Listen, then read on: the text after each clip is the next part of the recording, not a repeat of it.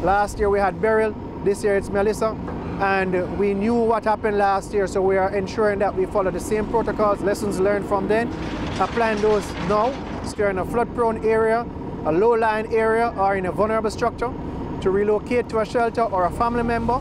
and pay attention to the bulletins coming from ODPEM, from the local authority,